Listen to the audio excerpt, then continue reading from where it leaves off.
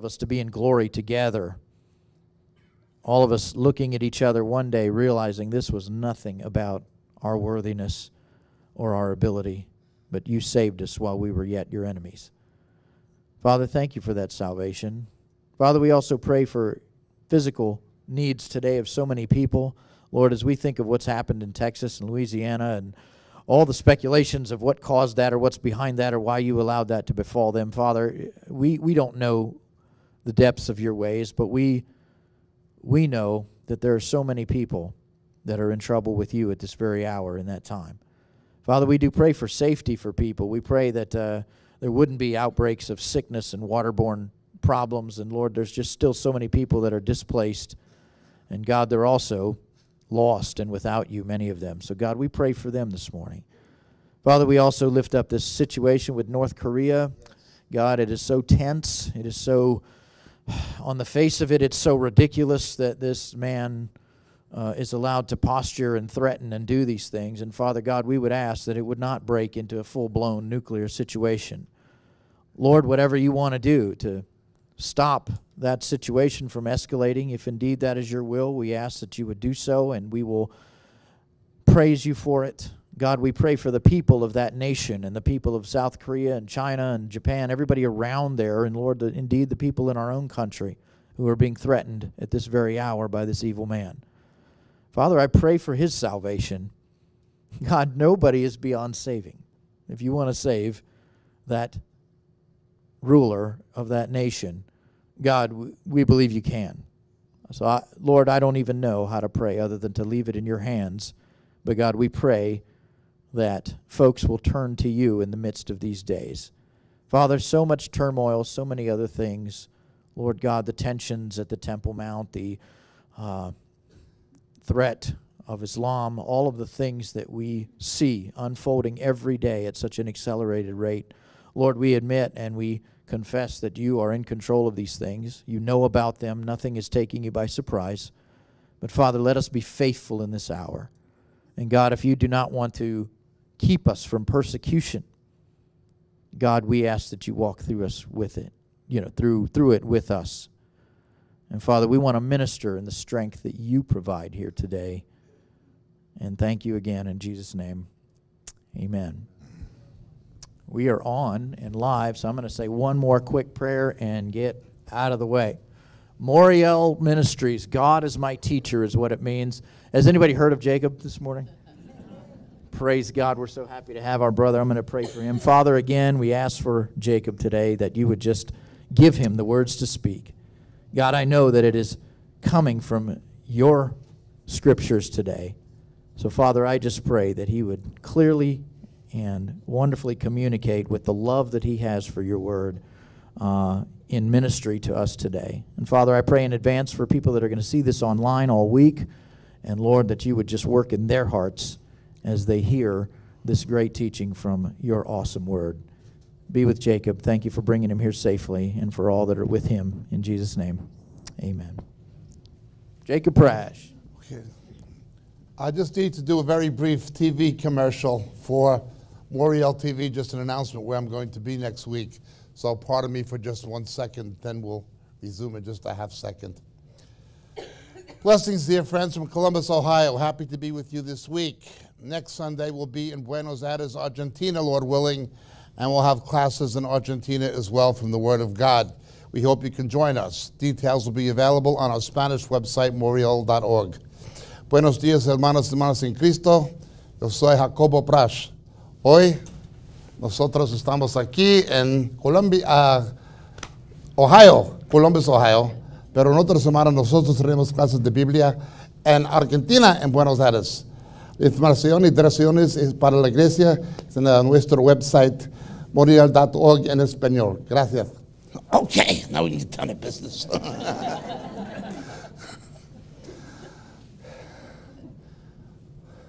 Not an easy subject today, but let's go to the beginning.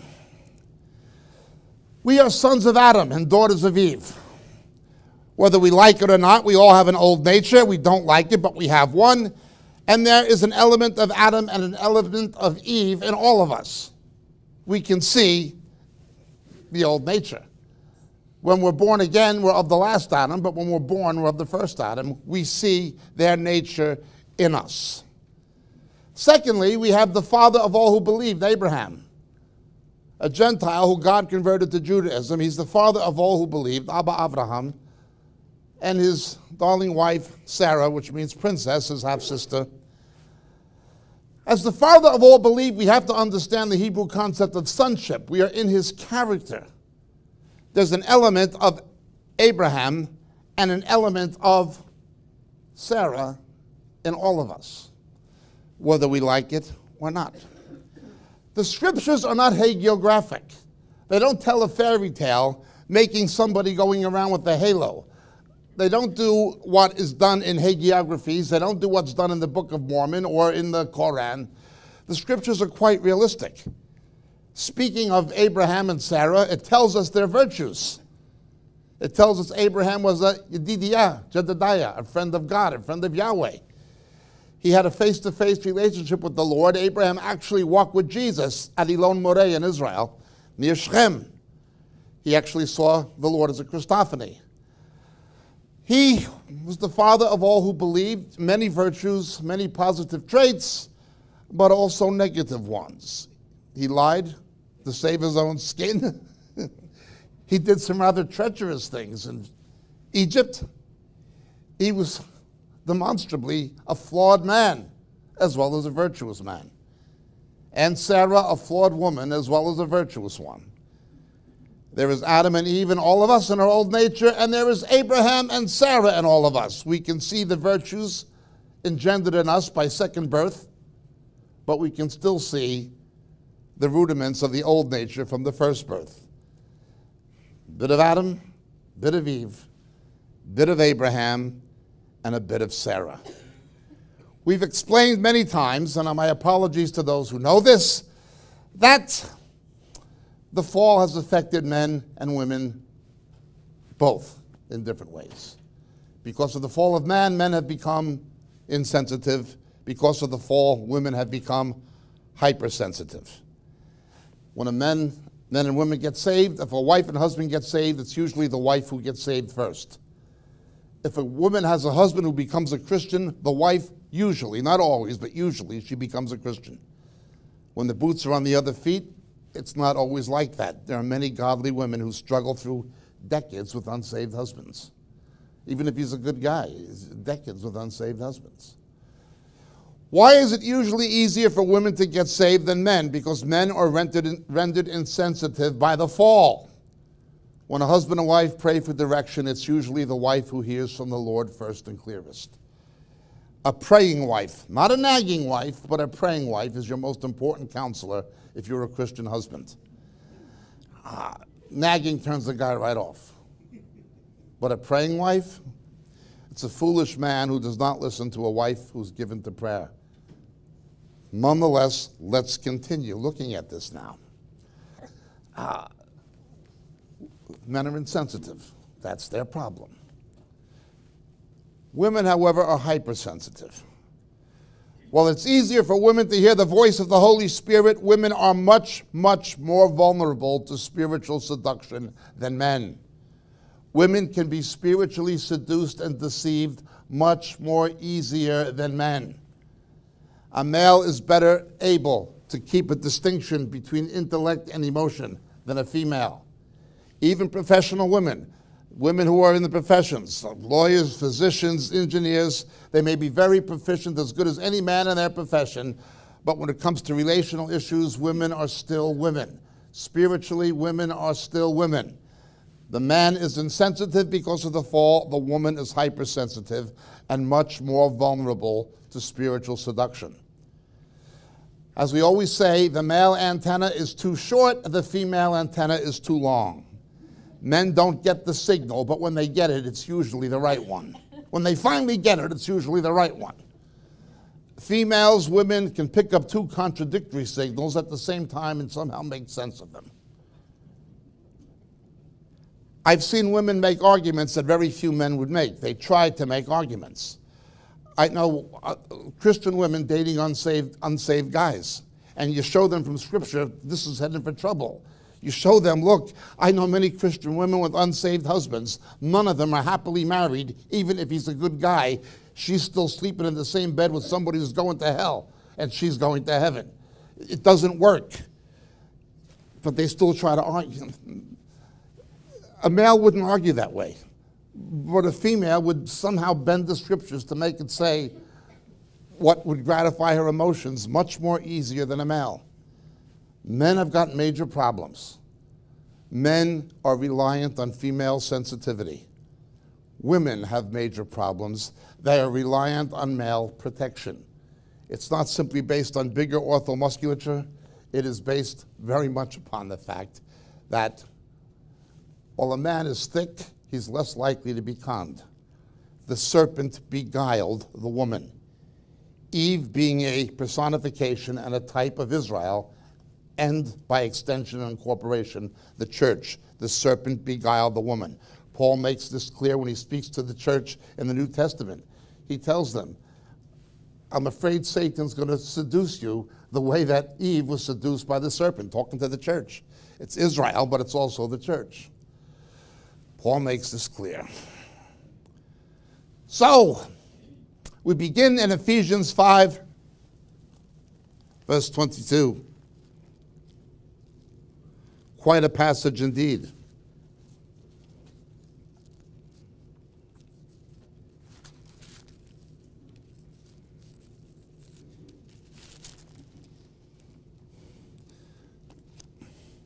Wives, be subject to your own husbands as to the Lord. For the husband is the head of the wife, as Christ also is the head of the church, he himself being the Savior of the body. But as the church is subject to Christ, so also the wives ought to be subject to their husbands in everything. Now, this does not mean if he tells you to do something immoral or illegal or completely irrational. but it means everything according to the Word of God. Husbands, love your wives just as Christ loved the church and gave himself up for her. If your wife knows that you were willing to die to save her neck, that if it was you or her, you would die to save her life, it is much easier for a woman to be in submission to a man who she knows would die for her. it's much easier. She's got to know that. Notice the female submission is dependent on the male letting her know he loves her that much that he would die in her place. If you're not willing to die in her place, you're not loving her the way Christ loved the church. Insubmission is going to be the result. And while it may be wrong on her behalf, it is your fault. You caused it. The impetus is always on the male. Eve fell first. But when Jesus came into the garden, Adam, what's going on? The woman, the woman. No, I'm talking to you, Adam. I'm talking to you, Jack. Something goes wrong in the marriage, even if it's not the man's fault, it's his problem. Let's continue. That he might sanctify her, having cleansed her by the washing of water with the word Notice the sanctification process of women is different than with men. We've been saved, but we're being saved. We were justified, but we're being sanctified. In the future, we shall be redeemed. We've been saved, we're being saved, we shall be saved. Salvation is past, present, and future. But the sanctification of the woman who is married through a married woman comes via her husband. She must see the sanctifying power of Christ through her husband. How does this happen? By washing of the water of the word. Is he applying the word of God in their marriage and in their family relationship? If he is not, he is a failure. It is a shame and a disgrace when the husband is not the spiritual head of the marriage. Now, I understand there's circumstances where the wife may become a believer before the husband, and he's a new believer, and there's a transition process. But even in those circumstances, he must increase. He's got to take responsibility as he grows in his faith. He has to apply the washing of the water of the word. This is what the word of God says. When she begins to argue and contend otherwise, she's got to understand she's not arguing against her husband. She's arguing against the Lord. When she is not in submission to a protective husband, it is the church being not in submission to Jesus. One reflects the other. Now, we have other teachings where we explain this at much greater depth, but let's look. That he might present to himself the church in all her glory, having no spot or wrinkle or any such thing, but that she would be holy and blameless. You think that you have a role in making your wife holy and blameless, as Jesus says the church. Love your wives as your own bodies. You know, sexual ethics is simple for Christians. Her flesh is your flesh, your flesh is her flesh. You wouldn't abuse your own flesh, don't abuse hers. It's pretty simple. At least the principle is simple. Washing with the water of the word. The husband must apply the word. Both in the church and in the marriage, leadership is male. Women can teach other women, older women teach younger women, but congregational leadership is male, marital leadership is male. When it doesn't happen, however, there's a problem, but the problem, although it involves the woman being insubmissive, it is the responsibility of the male. If he is being what he's supposed to be and doing what he's supposed to do, it is less likely there's going to be a submission problem. If she knows you would die in her place, and if she knows that you are always applying the Word of God to every situation, and the marriage, the family, the relationship, the whatever, the children, whatever it is, she sees that and knows that.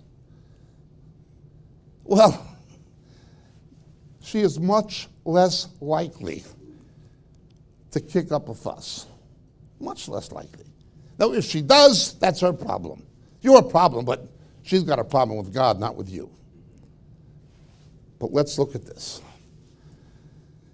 You see, it's easy to say that there's an element of Adam and every male and an element of Eve in every female. It's easy to say that, and nobody would get offended. People know that. Christians know that, certainly. And it's relatively easy to say and get away with it without offending anybody. There's an element of Abraham and an element of Sarah in all of us. Extreme virtue, godliness, at the same time, the ugliness of the old nature. It's all, you can say that. People know it's true. At least Christians do. But now we come to the third case, which makes us much less comfortable. It certainly makes me much less comfortable. There can be an element of Ahab in every male and an element of Jezebel in every female. That's much less comfortable to deal with much less comfortable. Abraham was not such a great king. He wasn't such a good guy. But neither was he such a bad guy. He certainly wouldn't have been as bad if he was if it wasn't for his wife. And she would not have been able to wreak the havoc she did if he had been what he was supposed to have been. I'm not picking on women, I'm not a misogynist. I don't think women should be subjugated per se. My wife always beats me in mud wrestling.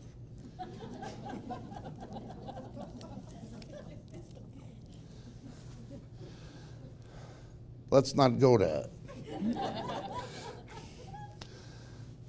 but let's look at the background. Eve, the lust of the eye, the lust of the flesh, the boastful pride of life, she was seduced first.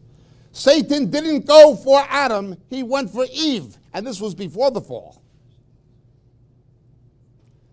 once the fall happened, now she's super vulnerable to seduction. He comes when the man is not there. If the man is not being the spiritual covering and protector, she is super vulnerable. Just like the church is super vulnerable when it is not under the headship of Christ. The husband's the head of the wife, as Christ is the head of the church. Yeah. Then we go to Sarah, the matriarch, and Abraham, the patriarch. Okay.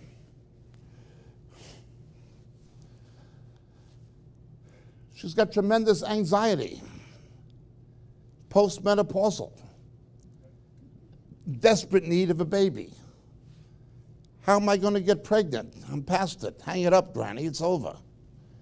No, no, no, no. She cooks up an idea, the ancient equivalent of surrogate motherhood. No IVF in those days. It was called Beber Kaim, literally on the knees.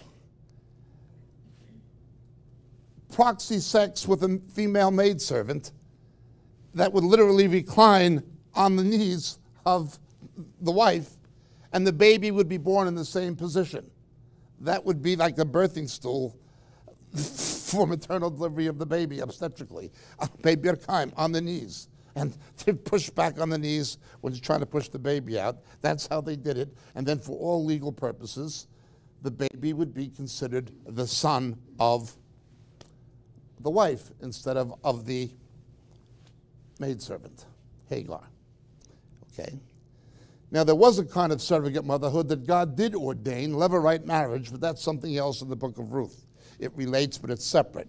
We have other teachings addressing it. We're looking at Abraham and Sarah now. So they have the Ishmael. To this day, all these events you see John Haller talking about every week, or myself or others talking about in the Middle East, seminally, the root of most of that goes back to Abraham and Sarah. Later, of course, to Isaac and Rachel with Jacob and Esau, but incipiently with Hagar giving birth to Ishmael. God says to Abraham, Take Isaac, your only son. The Lord never recognizes anything done in the flesh. Take your only son. Now, this does not mean that God does not love Arabs and all this stuff. Again, we have other teachings explaining the anthropology of these things. We're simply dealing with typological illustrations of the truth. God does not recognize anything done in the flesh. Take your only son, Isaac. There are promises for Ishmael, of course, etc., in the Arab nations. Nonetheless, let's look at this. Take your only son. Out of insecurity, she nags, she hounds her husband into doing something he otherwise would not have done. Look with me, please, to Proverbs chapter 21.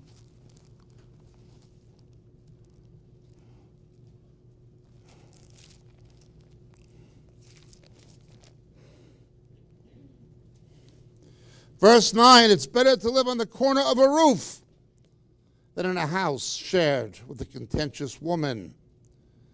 Verse 19 It's better to live in a desert land than with a contentious and vexing woman. Now, again, there are typological meanings to these things, but the book of Proverbs tells us a woman who continually nags her husband is like a drip, a dripping faucet, as it were. They didn't have faucets, but they had a spout.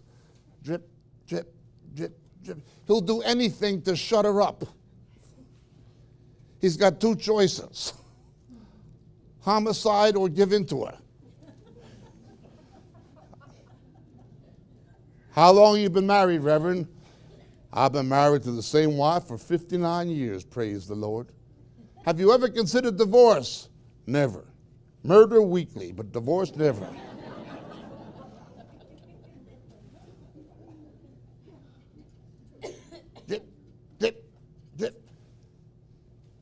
This drives a guy nuts. Now, understand this. We're talking about the Jezebel spirit and the Ahab spirit. The Ahab spirit is obvious. It is when a male is not the spiritual head. That's obvious. With the Jezebel spirit, we have to talk about predisposition from two aspects. The first is vulnerability, and the second is targeting. What kind of women are predisposed to this? Vulnerability and targeting. I'm not into psychobabble or psychotheology. However, it is undeniable. It is common sense, and I can find scriptural examples. Women who have had bad fathers, such as Michal and King Saul's daughter, okay? Women who have had bad paternal relationships or have been hurt by a male in some devastating way naturally tend to carry that baggage into their own marriage. You've got to understand the principle of new creation. You marry that man, not your old man. You marry this man, not the other man who hurt you. But there is a predisposition to carry the baggage. Women who have been hurt are the most vulnerable to being taken in by the Jezebel spirit. Okay? Second, women who are married to males in leadership, to pastors, to evangelists, to missionaries, to eldership or leadership in the church, to people in full time ministry, women who are married to men in leadership. The devil is going to go after the man through his wife. Either she is going to be his helpmeet or she's going to be a Mary Wesley, John Wesley's wife, uh, a hindrance, an, uh, an instrument of Satan that, that, that the devil continually used to try to destroy his ministry. Uh, she's going to be one or the other. When a woman is driven by the insecurity of Sarah, that compounds it. If she is not seeing the leadership the love of Jesus, the protection of Jesus, and the authority of Jesus by applying the word of Jesus, this insecurity is going to propel her to behave like Sarah did. And it's going to go on. Drip, drip, drip. Give me children or I die, etc. Now, There are lots of women like Sarah. Doesn't mean they're bad. There are lots of women who were hurt in childhood by males, even abused, even sexually abused. That doesn't mean they're bad. On the contrary, they're the victim. But it does mean that they are more vulnerable to this kind of seduction. The devil knows he can get to them easier. And if they are married to somebody in leadership, they become a target because the real target is who they're married to. Understand how the devil works.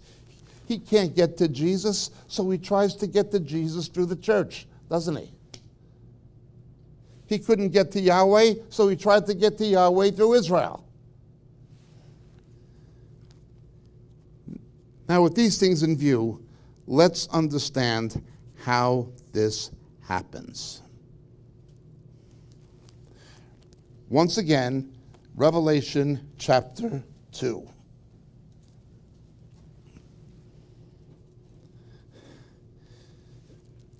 Of the seven churches, Thyatira, the church of continual sacrifice, is arguably the worst. It is arguably the worst. The woman Jezebel personifies spiritual seduction, according to Jesus. The way she operated illustrates the way spiritual seduction works. Obviously, leading up to the great harlot of Revelation 17 and 18, etc., there's that whole aspect. Thyatira having to do with idolatry, the church of continuing sacrifice, etc. I have a book on the dilemma of Laodicea. We explain these things in depth. But let's look. The Son of God, who has eyes like flames of fire and his feet are burnished bronze. Each church sees some aspect of Christ highlighted in the first chapter that they need to see about him. He sees what's really happening. And he comes with feet of burnished bronze. Bronze is due with judgment, the altar, the brazen altar. I know your deeds and your love and your faith and service and perseverance, and that your deeds of late are greater than at first. These are good people initially, a good church. He speaks of, look at this what they do, their good deeds, their love, agape love, real love, the love of the Lord, their faith and their service, and their hupomone, their perseverance. They wouldn't give in to certain things that others would. And he says they've even cleaned up their act. They're better than they used to be. How does such a good church turn into such a bad one?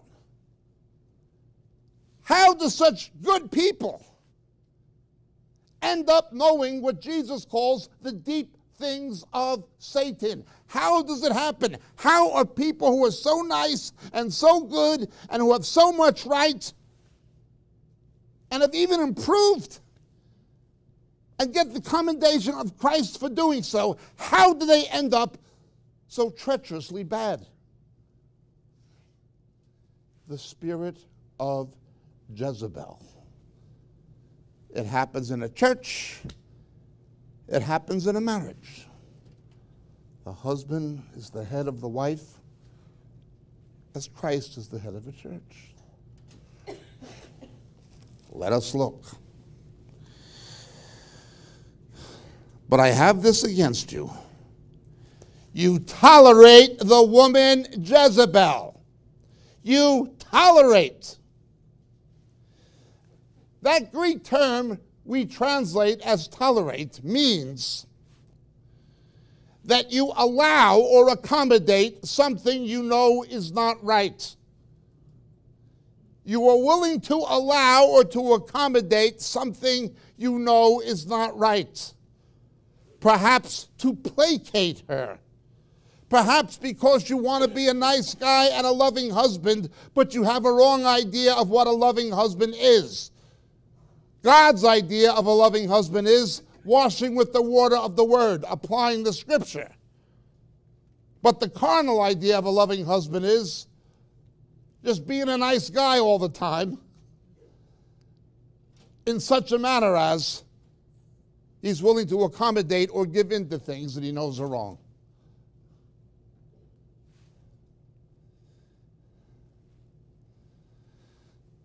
She wouldn't have been as bad as she was when you read First Kings if her husband had been what he was supposed to. And he certainly wouldn't have been as bad as he was had he done what he was supposed to. The blame is primarily on the Ahab. Once this wild stallion escapes from the corral, it is pointless bolting the gate. Once this wild stallion gets loose, it is nearly impossible, nearly impossible to get it back in, to corral it again.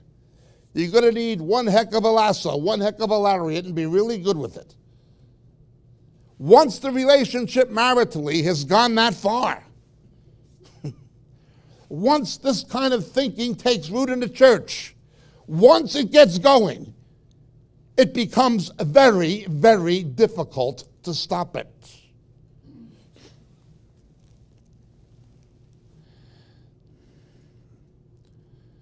Now let's look at her.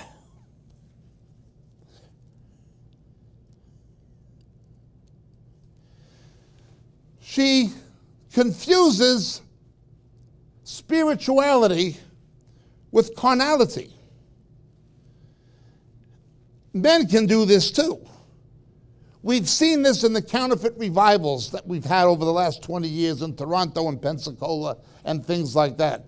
People are doing things that are carnal, that are basically an emotionally charged religiosity with wild manifestations and things, often influenced by Eastern religion. And they don't, they're too ignorant to know it, and they think it's spiritual.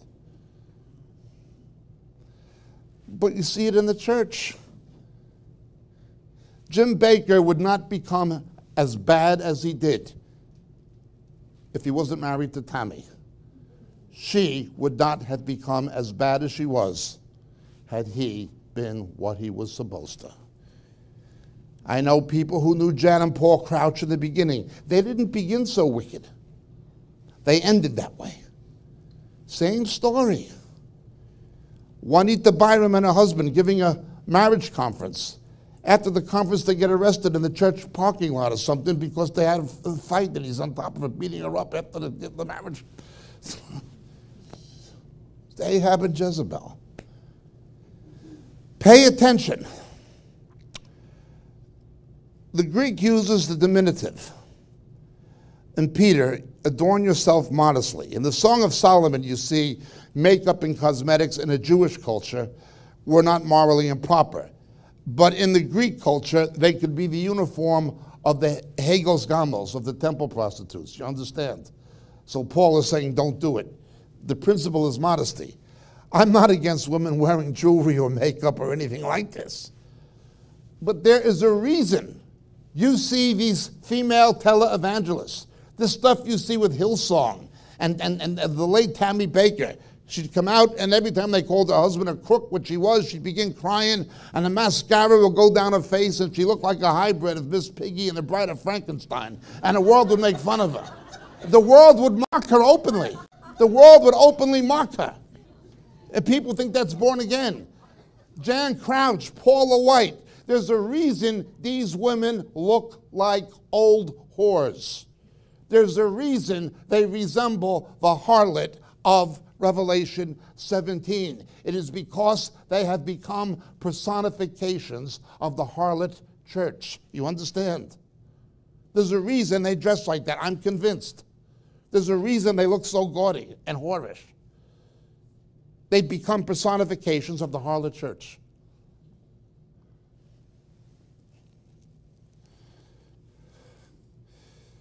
Now let's look at this. He's talking to them. The characteristics. She calls herself a prophetess.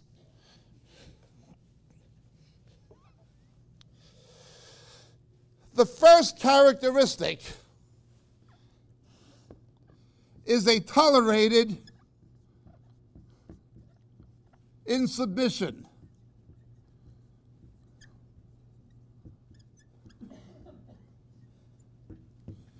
The insubmission is the fault of the woman. The toleration of it is the fault of the man.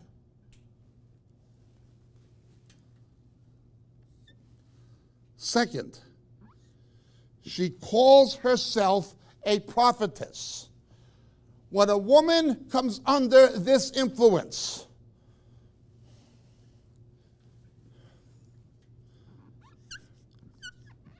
she thinks, she hears from God. She's simply gratifying her emotions, but she's convinced. She's personally convinced she's hearing from the Lord. And of course, if you don't agree that she's hearing from the Lord, it's because you're not hearing from the Lord in her mind. Where is the washing of the water, the word? Where is it?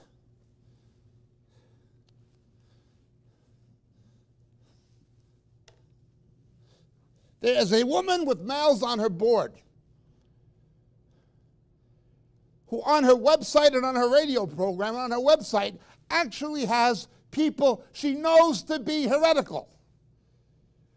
people who teach that Christians are not under the new covenant. And the male Christians on her board let her do it. She's not married. That is the Jezebel spirit.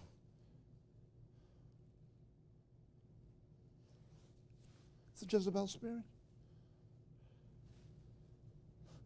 And she appeals to other women. It's the Jezebel spirit. Well, she thinks she hears from God. But she's actually seduced. What happens next? She will take on some kind of seriously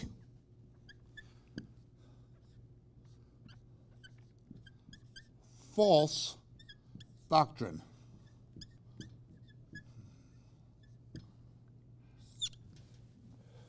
Where the Jezebel spirit is there, the woman will get involved in some kind of false doctrine. Now, with historical Jezebel, it was easy. She was a Phoenician. Yahweh was Israel's Baal, being the Hebrew word for husband, master, and owner, as most of you know. Israel's Baal was Yahweh. But the Canaanites had a Baal that rose from the dead every spring. You got a Baal, we got a Baal, everybody's got a Baal. Two people named, uh, you know, Robert Phillips in the Columbus telephone directory. Does that mean they're the same Robert Phillips? Well, two people named Jesus Christ. We're the Church of Jesus Christ, the Latter day Saints. Yeah, your Jesus Christ is the spirit brother of Satan. Allahu Akbar. The Quran speaks about Jesus Christ. Yeah, he's a prophet inferior to Muhammad who was not the Son of God. It's different Jesus. This is the American Midwest. Originally settled by the French, to this day there's a strong Roman Catholic influence in the Midwest. How many people here are ex Roman Catholics? Put your hand up. See? Somewhere within a half hour drive from here right now, there's a Roman Catholic Mass. Our Jesus said, If anybody says I've returned physically, don't believe them. He's in the wilderness, don't go there. He's in the inner rooms, don't go there. I'm coming back the way I left. No, he comes back under the appearances of bread and wine. He physically returns by transubstantiation. They prayed to the bread and wine, calling it the Blessed Sacrament. They actually worship it. Then they kill him again sacramentally and eat him cannibalistically and drink his blood. If it's his real blood, why are you drinking it? Acts 15, the apostle said, don't do that. This is a different Jesus. The Mormon Jesus is the spirit brother of Satan. The Islamic Jesus is a prophet who is not God's son and inferior to Muhammad. The Eucharistic Jesus of Rome is bread and wine. That's all. Zot it's a memorial. Not to them, that's him. Twisting John 6 out of all context. Okay? The New Ages have Maitreya, the cosmic Christ. They've all got a Christ. But it's not the same Christ. Jezebel's thing was we got Baal, you've got Baal, it's the same Baal, we can be one. That's how Israel was seduced. That's how the church is being seduced today with the ecumenical movement and the interfaith movement. Oh, Catholics are Christians. Yeah, there are Catholics who are Christians, but if they're real Christians, the Holy Spirit is going to show them to get out of the Roman church. Come out of her, my people. Oh, we just have to love. Somehow love and truth become mutually exclusive. She's thinking with her emotions. And when the male leadership of the church gives into this, look at it.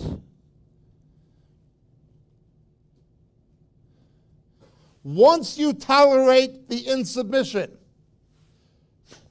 she's going to go on thinking she's hearing from God, and she is inevitably going to get into serious false doctrine. Understand the Mass as idolatry, it is false doctrine. It's another Christ. Oh, but they're against abortion.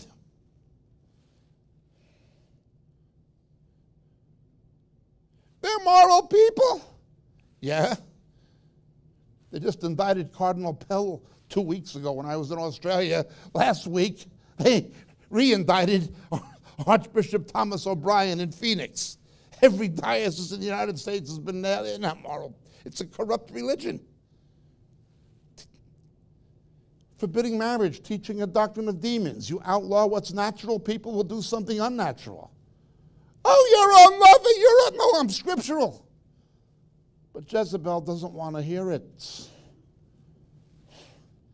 False religion gets in. Whose fault is it? The leadership of the church. I remember the disgusting book, Ecumenical Jihad, written by Peter Kreeft, claims to be a former evangelical turned Catholic. Mohammed is in heaven, Buddha is in heaven. We have to have ecumenical union with Islam to morally redeem society. Who endorsed that book on the cover? Who endorsed it? J.I. Packer, the Reformed Calvinist theologian, the late Chuck Colson, among others. You tolerate the woman Jezebel, who beguiles my servants.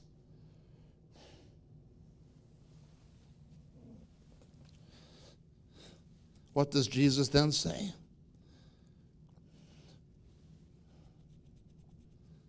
I gave her time to repent. But she doesn't want to repent.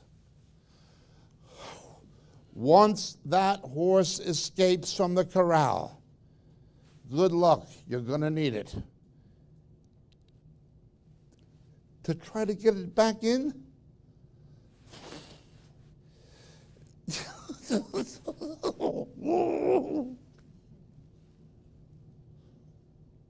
you can't control her anymore. Just look at a marriage where this happens.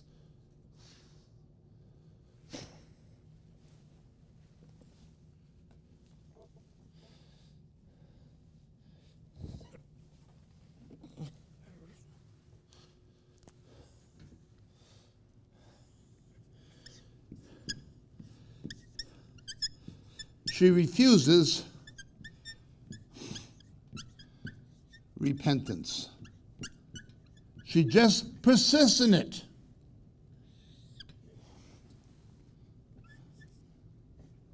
Then the fifth one. What did Jezebel do next? Ahab wouldn't confront her. As a result, the whole nation is being seduced and misled.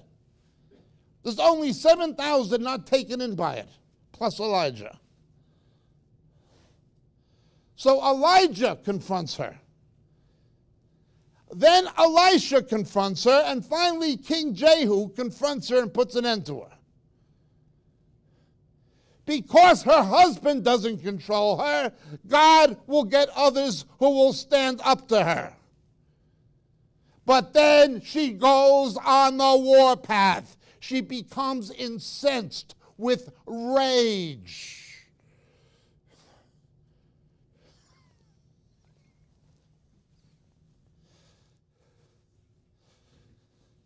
Where the Jezebel spirit is, you will see an unleashed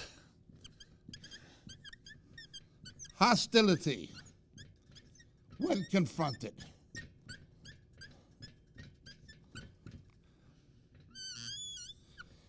Hell knoweth no fury, like the scorn of a Jezebel.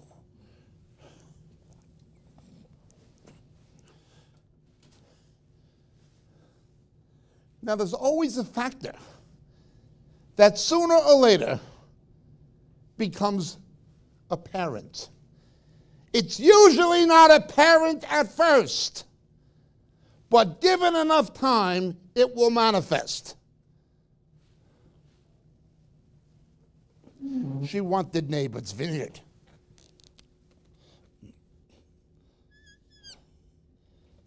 Yeah.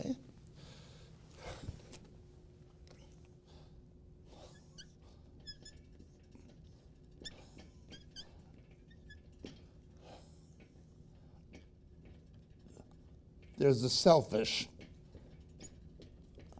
ambition. It might be materialistic, financial, whatever. Quest for power.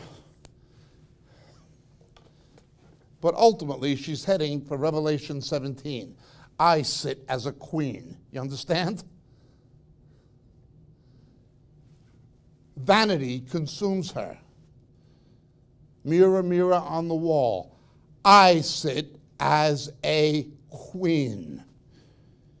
You let her go long enough, selfish ambition is going to overtake her. She's wearing the trousers. Ahab is wearing the skirt.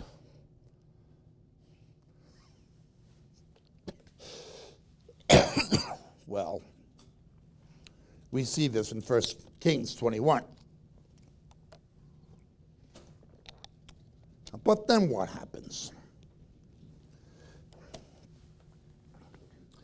The seventh step.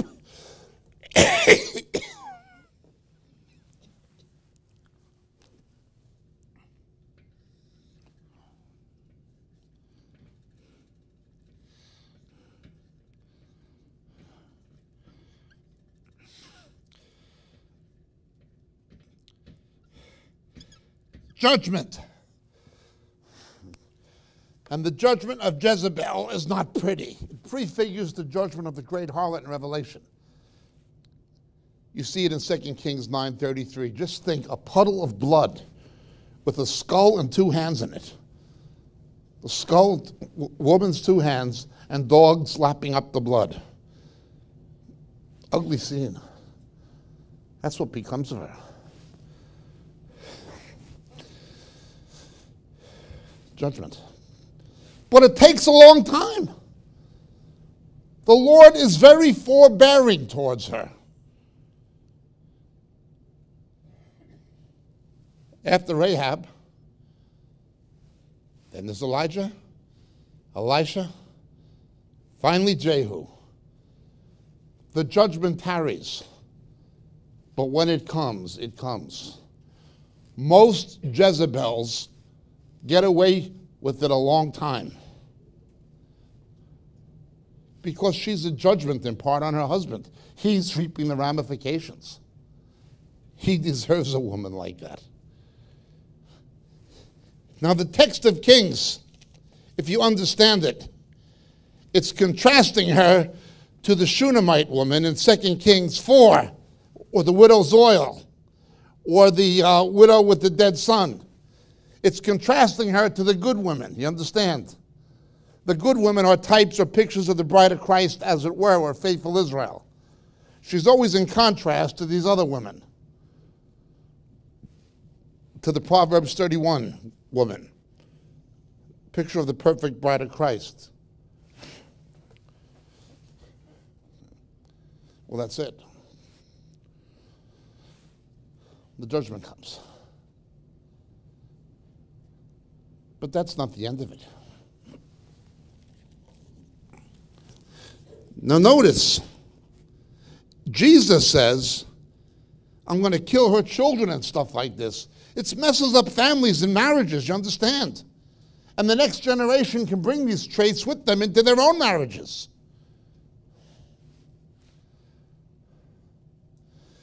An abusive husband and father is going to mess up his sons an overly permissive one who's not the spiritual head and does not apply the word, he's going to mess up his sons. A woman like that is going to mess up her daughters. Now, again, there's much, much more to this than what we're talking about. You can get the book, The Dilemma of Laodicea. But again, he has the eyes of fire. He searches the minds. He knows what's going on. And he says there are those who do not know the deep things of Satan. This is not just something demonic, it is something satanic.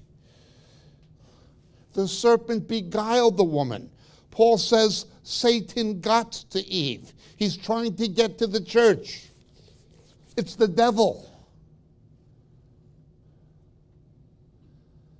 To take such a good church with such good people who Christ commends so richly and who even improved. for them to end up in that state. All it takes is an Ahab and a Jezebel. That's all. Now, understand this.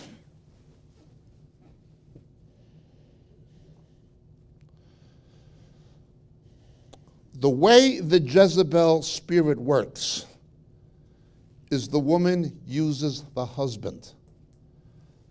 A faithful bride seeks the honor of her husband.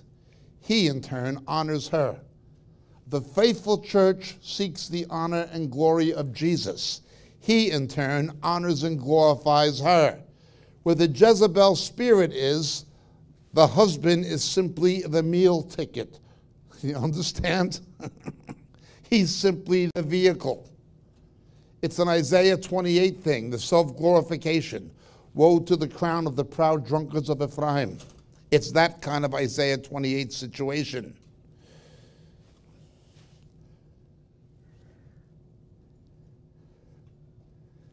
I know a pastor, a good pastor who speaks out on discernment issues. Personal friend, I love him. There are churches that will not allow him in, even though they like him and agree with him, because his wife has a Jezebel spirit and she travels around with them sometimes. And these pastors see it. I know th- three pastors said we can't let, it, we, let him in because this is the. There's a woman on, on the radio. She, she's Jewish, and she, she has good guests, but she has heretics. Her board won't stop her. She has a Jezebel spirit.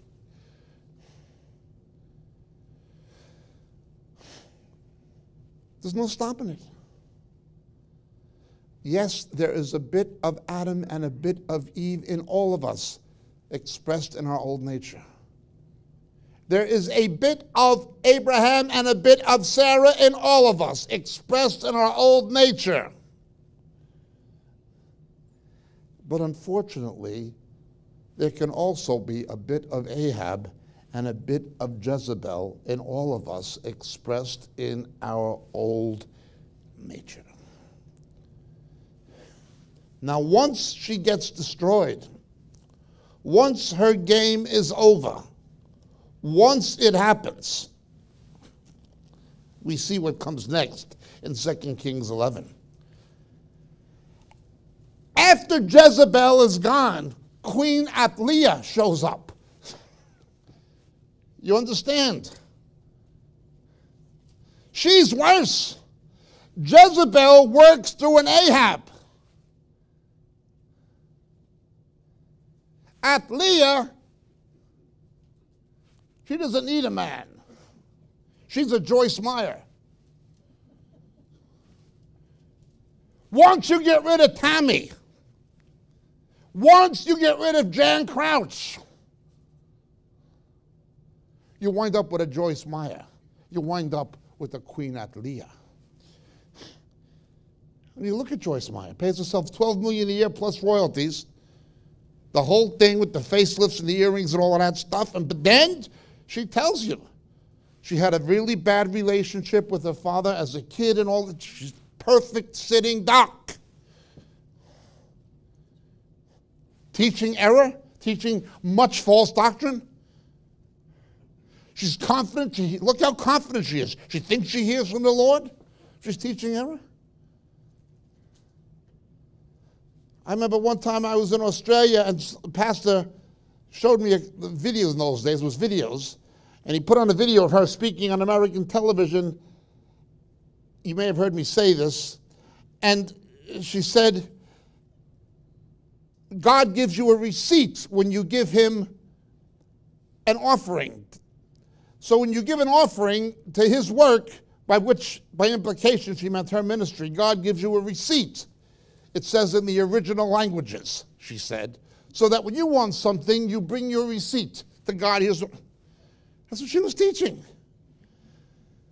Well, it so happens I can read the original languages. In Hebrew, the word for receipt is Kabbalah, Kabbalah, mystical Judaism, does not apply. In Greek, we have two words Telestai only found in John's gospel, paid in full. When Jesus paid for our sins, it was paid in full. And the other word is arabanon, meaning we usually translate it pledge or earnest. It's the Holy Spirit. It proves we were bought by the blood of Jesus. When he comes to pick up the parcel he purchased with his blood, he takes those who have the Spirit. That's what it's talking about. Those are the three words of the original languages Kabbalah, Arabanon, and Telestai. Where she got hers, I don't know.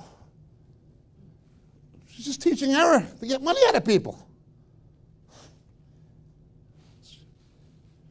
No, Joyce Meyer is not a Jezebel. She's a Queen Athaliah. She doesn't need a man. Tammy Bakker, she, that's a Jezebel. Unbelievable. Unbelievable. But it happens. It happened to Israel, and both Paul and Jesus warned it can happen to the church. And it happened to nice people, to good people who have faith and love and perseverance and good works. It happened to good people. I know nice people, but there's something wrong. That wife has the Jezebel spirit. I know good churches, but women are the real powers on back of the proverbial throne. Not as advisors or as counselors, but as manipulators. It's a bad thing. Sooner or later, the judgment of God comes on Jezebel, and she gets really angry when somebody confronts her. She gets really angry. She demanded her husband kill Elijah, remember? Now, again, there's a whole typology in this. Elijah, Elisha, and John the Baptist had the same spirit. The wicked woman put the king up to killing Elijah. John the Baptist, the same thing. The wicked woman Herodias put the king Herod up to killing John the Baptist with the spirit of Elijah, and that points to Revelation. There's a whole other dimension of meaning in this prophetically and eschatologically and so forth. But we're not looking at that now. We're looking at the Adam and Eve in us. Okay. The Abraham and Sarah in us. Okay. The Ahab and the Jezebel in us not so okay. I don't like this subject. It bothers me. And I know who Satan targets good people, good churches, good leaders, good preachers. I know who's most vulnerable, where the insecurity comes from. I understand it. But it happens. Happened to Israel. Wrecked that nation. It wrecked that nation. It happened in Thyatira. It wrecked that church. And that same spirit is wreaking havoc today. It happened to Israel. It happened to Thyatira. Please, Jesus, don't let it happen to us. God bless. Let's have a break.